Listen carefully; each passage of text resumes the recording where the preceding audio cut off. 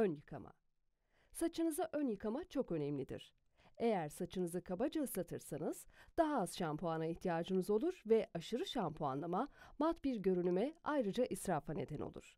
Saçınızı ıslatmak için ılık su kullanın ve parmaklarınızla masaj yapın. Şampuan uygulama ve köpürtme. Şampuanı doğrudan saçınıza dökmeyin. Bunun yerine avuç içinize döküp elinizle ezin ve daha sonra saçınıza sürün. Avuç içinize yedirin ve nazik bir şekilde parmak uçlarınıza masaj yapın. Vücudunuzun herhangi bir kısmına masaj yapmak sizi rahatlatır ve iyi hissettirir. Bu özellikle saç derinize yaptığınız masaj ve şampuanlama için geçerlidir. Yaklaşık olarak 40 saniye masaja devam edin ve arada parmaklarınızı saçınızdan aşağı doğru geçirin ki düğümlenme oluşmasın.